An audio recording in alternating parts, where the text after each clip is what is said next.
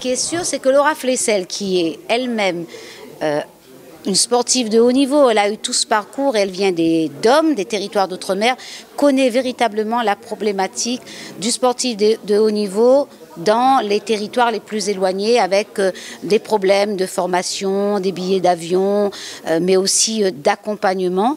Mais elle a surtout donné des grandes pistes, les axes de travail. Elle souhaite pas seulement euh, que son ministère s'occupe du haut niveau, mais aussi de la pratique sportive pour tous les publics. Nous avons beaucoup parlé des jeunes dans les Outre-mer avec euh, la possibilité d'offrir aux plus petits, mais jusqu'aux plus grands, la possibilité d'avoir des pratiques de haut niveau. la santé et le sport, c'est un autre axe de travail. Et puis toutes les questions ont été posées par Madame le rapporteur qui est ici, dont euh, celui lié aux infrastructures sportives. Mais Viviane Mallet va vous en parler mieux que moi mais la ministre a, très bien répondu à nos questions et, en plus on est allé au-delà de, des questions en fait.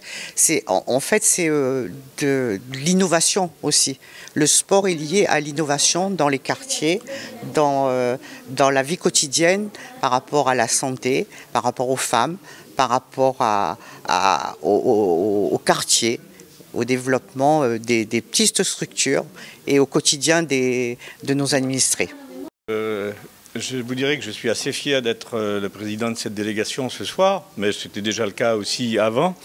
Euh, je suis surtout fier de voir que dans sa grande unanimité, notre délégation a choisi ce sujet.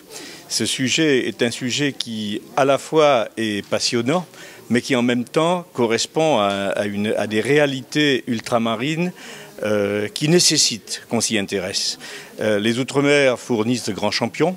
Les Outre-mer sont des terres où on peut pratiquer, mais où on manque de moyens, où on manque d'infrastructures, où on manque d'équipements, où on manque de, de, compétences disponibles. De... Bref, c'est particulièrement un sujet sur lequel nous voulons toucher le fond, nous voulons faire des préconisations intéressantes qui serviront à la fois au gouvernement, quel qu'il soit, qui serviront aux parlementaires que nous sommes, s'il y a des éléments à mettre dans la loi, qui serviront aux collectivités territoriales et quel que soit leur statut euh, dans la mise en place de leur politique locale du sport, et qui serviront aussi aux fédérations et aux grands organismes sportifs.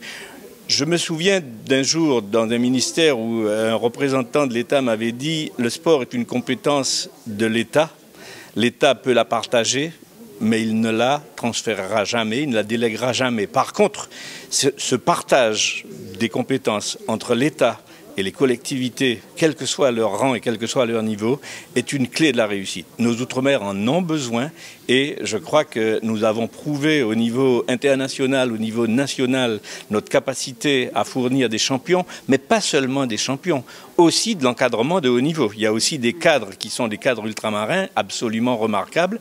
Et puis, il y a l'autre volet de la question sportive, c'est le volet euh, animation, intégration sociale. La ministre en a parlé avec brio ce soir. Nous avons une ministre qui est à la fois euh, qui maîtrise parfaitement son, sujet, puisqu'elle est elle-même, elle a été elle-même euh, championne olympique et elle sait de quoi elle parle. Mais en plus, elle a, elle a une feuille de route et euh, des orientations politiques qui font plaisir à entendre. Et sincèrement, sur ce point-là, je pense qu'on a fait un très beau choix. Justement, en parlant d'infrastructure, vous avez en Guadeloupe l'infrastructure de Bainbridge.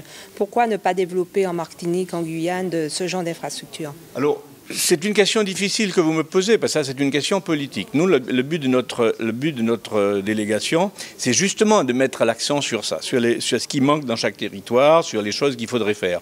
Après, les choix politiques restent d'abord entre l'État, et les élus locaux. Et puis la grosse difficulté, bien entendu, c'est que nous ne sommes pas les seuls sur le chemin du développement du sport. Et il y a bien entendu toutes les collectivités de France qui demandent aussi à être... Mais reconnaissons que c'est plus difficile pour un ultramarin sur un territoire isolé d'accéder au plus haut niveau euh, sans être obligé de sacrifier sa jeunesse pour partir loin de ses parents, etc. C'est pas forcément simple. Et nous, euh, élus, nous sommes là pour ouvrir des portes et euh, proposer des solutions. Et je ne doute pas un instant que le rapport que nous produirons en juin sera un document de qualité, de grande qualité, au service de toutes celles et ceux qui pourront l'utiliser.